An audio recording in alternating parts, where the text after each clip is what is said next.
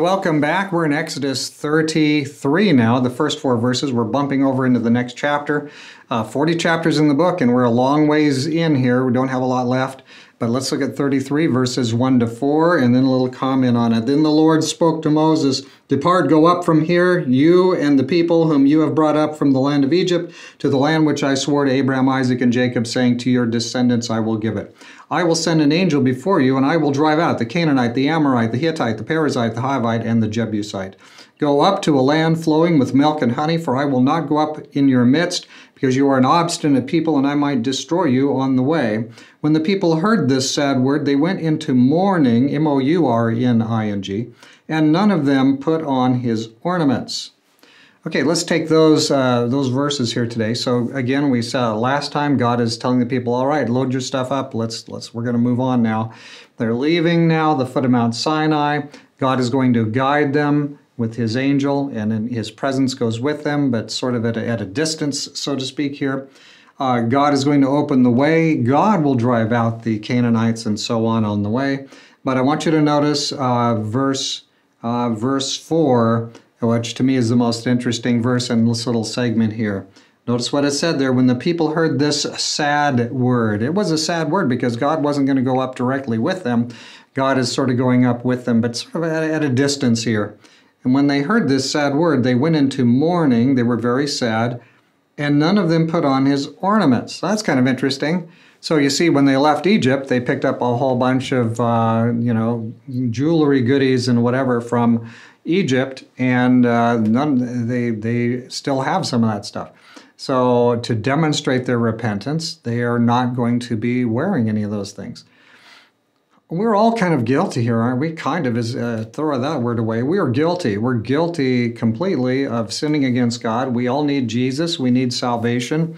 Uh, we need to be deeply repentant, not superficially repentant. And so uh, we should we be wearing you know crazy loud things and and um, things that draw attention to ourselves and and uh, like these guys had on some crazy Egyptian uh, jewelry. It was probably looked like they'd been to the mall there in Egypt because they had. and so, yeah, uh, the Egyptians said they plundered the Egyptians and they gave them their stuff. So now they take this off. They're trying to, in some observable, concrete fashion, to show they truly are repentant. Their hearts are repentant, and by their outward appearance, that's going to reflect what's on the inward. That's going to reflect what's in the heart. And so here they are doing some demonstration uh, of actual our depth of our repentance, we're not we're not going to go this way. Uh, but but you might say, uh, do you dare? Are you going to be dare to talk to us about adornment? Yes, I am. I am going to completely dare. Uh, friends, uh, tattoos, various metal jewelry sticking out of your face, your nose, your ears, uh, rings, etc. Boy, I tell you, loud ties, you know, super bright um, clothing that, that draws attention to you. These things aren't uh, the way that Jesus acted. They're not the way that Jesus dressed. They're not the way that that uh, God has for His people. What we should be is we should look uh, modest. We shouldn't look in a way that draws attention to our, our ourselves. We should not be looking outlandish or looking worldly or doing things that impact against our health. And so, yes, I would say, friends, uh, avoid, completely avoid all of that kind of adornment. Uh, jewelry, jewelry of any kind. Um, there's some marginal pieces in between, you know. Uh, the tie is not my favorite thing. I never wear a tie clip because to me a tie clip is additional uh, jewelry. Um, you may have a different approach to that. You may have a different conviction about that.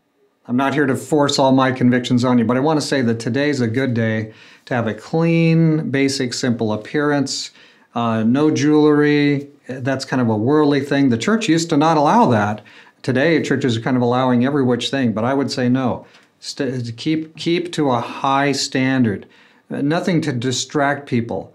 Uh, you don't need metal sticking out of your face. You don't need to add holes to your to your face.